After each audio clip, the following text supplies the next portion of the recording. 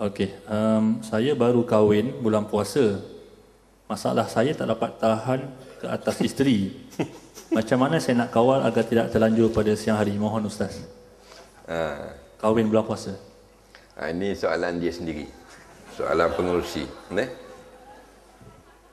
Pasal dia kata saya tadi. Ha. Baik.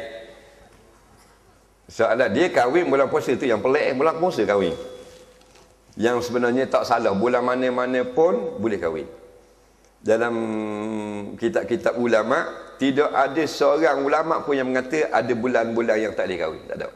Mana 12 bulan ni berkat belaka. Cuma bulan Ramadan kalau kita kahwin, kita buat maknanya walimah itu pada malam hari jangan buat siang hari. Pakat buka puasa belaka. Ni, ha, baik. Bila kahwin, dia kata dia tak tahan dengan isteri dia. Ha, tu kata bahaya bulan puasa ni. Batu ulama sebut perkara-perkara yang makruh ketika berpuasa memegang isteri. Ha, pegang. Memeluk isteri. Mentiung isteri ni tiung.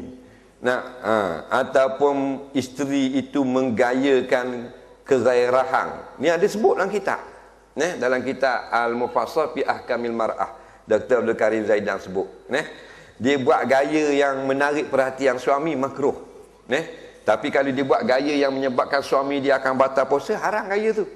Lagu mana gaya wallahu a'lam. Tapi inilah fitnah wanita bukan nak salahkan isteri bulan lain dia buat dia buat warak dia buat kerah dia kalau kita panggil empat kali tak mari lagi nak ha hidup dapur duduk duduk duduk, basuh pinggang kita duduk dalam bilik ni duduk panggil wih wih wih wih dia buat kerah dia kelakong kelakong kelakong kelakong basuh pinggang laki dalam bilik ni sampai dua gelas tokat ali telang supik-supik dijoh dijoh hei mari gok dijoh dijoh Nak dok gerak tangan masuk pinggang. Kelekong, kelekong, kelekong, kelekong, kelekong. Nak, ha, lalah anak pergi panggil. Mak oi. Ayuh, panggil dalam bilik tu. Dah punya nok tu nak mampu. Mak ni bulan lain, tapi bulan puasa je pelik kau puan. Ni buat pakai tuala, ikat dak apa kemah. Lalu ke depan untuk lelaki pagi-pagi hari puasa. Nah, ha, ni bahaya ni semua ni ujian mental dan fizikal. Nah, ha, nak, ini banyak gitu dia main pakai baju jarang pakai baju kelawar buat selok dok selok kita puasa eh jadi jaranya kalau sebab itulah nabi banyak beriktikaf eh bukan kata suruh tinggal bini banyaklah beriktikaf maksudnya ambil ruang jangan duduk kat dia kalau bulan kalau bulan lain dia duduk situ kita duduk situ nah kan isteri kan ulama khabar kena ikut sama suami suami balik kerja pergi ambil kat kereta kat motor buat naik atau rumah Suami duduk kat sofa, kita duduk bawah sofa. Suami duduk kat meja, kita masuk bawah meja. Suami pergi dapur, kita duduk kat bawah congeh. Supaya dekat sama. Tapi bulan puasa, sunat menjarakkan diri. Neh?